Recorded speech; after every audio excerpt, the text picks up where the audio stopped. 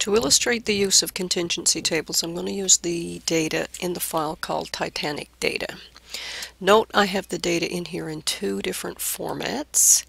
In columns 1 to 5, uh, basically the data are arranged in terms of survival status. So I've got the people who survived and the people who died in rows as opposed to columns 11 to 13 over here in which um, it is the class that's in rows and then its survival status that's in columns.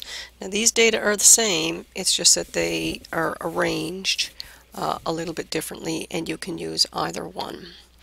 Now to get the contingency table we go to the Stat tab, Tables, and we choose crosstab and chi-square. Uh, first thing we have to do is tell Minitab how our data are arranged and if you hit the down arrow here our data are arranged in a two-way table. Two-way because one of them is in one variable is in rows the other variable is in columns. Alright put your cursor in the box right here and you have a choice of what data you want to use. Either one is fine. I'm going to start off by using the data that are in columns 2, 3, 4, and 5. And by the way, as I do this, I've got my finger depressed on my mouse. I say select. And um, when Minitab is looking here for columns containing the table, it's looking for the numbers. And the way my data are arranged in columns 1 to 5 it is columns 2 to 5 that actually contain the numerical data. Now, the rows. Uh, in the rows, I've got the variable that I've called survival status. And in columns, and by the way, all of this it says here is optional, but I certainly would put in the rows, and it doesn't hurt to put in a name for columns as well. All the columns, C2 to C5, I've called that variable class. Now if I do nothing else and the default here is Minitab will display my data as a count. If I just say OK to this, it reproduces the table that's in our notes. And the difference between what this table shows me and what this table shows me is that this one includes the totals.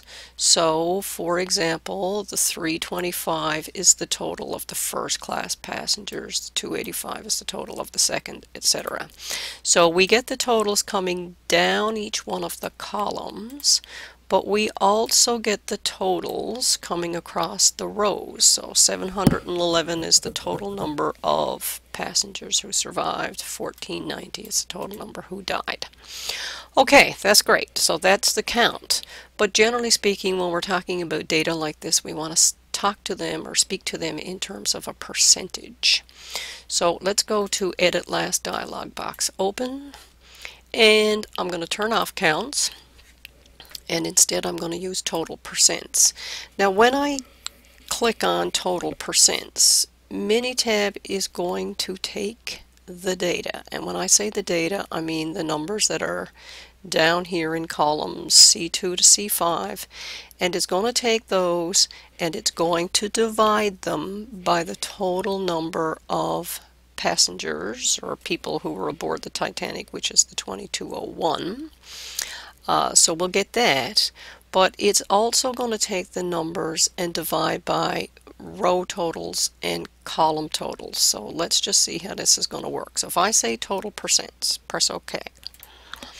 What Minitab has now done is to take the all these numbers right here, all of them got divided by, if I scroll up, they got divided by the 2201. So that gets me the numbers 2, or sorry, let me turn something on here. That gives me these numbers right here. So if I had taken my numbers right here, divide them all by the 2201, these are the percentages I get. Those percentages in the center of the table are called the joint distribution. So as an example, I could say that 5.36% of everybody aboard the Titanic was a second class passenger and they survived the sinking. roughly 30.1% of everybody aboard the Titanic were crew and they died. Okay, but this table also shows me some percentages that are right here in what we call the margins. So there's that and there's this. And these marginal distributions show me the percent in terms of each variable. So as an example of all the people who were aboard the Titanic, 67.7% of them died, 32.3% of them survived. So that's one way of looking at the data. I can also say that of all the people who were aboard the Titanic, 14.77% of them were first class, 12.95% of them were second class, etc. Okay, so this gives me both the marginal distribution and the joint distribution. If I want to get the conditional distribution, we go back up to Edit Last dialog box and you have a choice of doing the conditional in terms of the variable that's in the rows or in terms of the variable that's in the columns. Now by the way you can have all this turned on but I would not suggest you do that because you get all kinds of numbers and half the time you don't know what any one of them are. So I generally only choose one of these at a time. Alright, in this case I'm going to get Minitab to do the percent coming across the rows. I say OK to this. Here's what I have. Okay, well, how did Minitab get these numbers? Let's scroll back up here for a second. It took the total number of passengers who survived. These four numbers got divided by 711. These are the percentages that are shown right here. So what does this tell me? It tells me of all the passengers who survived, roughly 30% of them were crew, roughly 29% of them were first class passengers. Of all the people who died, 45% of them were crew, whereas roughly 8% of them were first class passengers. And notice that it gives me 100% coming across the rows, and that's what it's telling me it did. Now I can do this one more way if I go back in. Instead of doing this in terms of the row totals, I can do the percents coming down each of the columns. So I turn that one on, say OK, and let me just scroll back up to my counts now.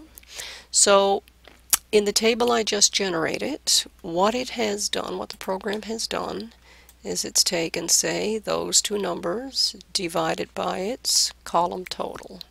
These two divided by its column total, etc. And that gives me the table I see right here. So what can I say? I can say that of all the first class passengers, Roughly 62% of them survived, 37% of them died. On the other hand, if I just want to speak about the crew, roughly 76% of them died and roughly 24% of them survived. Okay, so that's the three different ways that you can get, hang on here, let me go back here, three different ways you can get percentages. You can do it in terms of rows, columns, or total percents.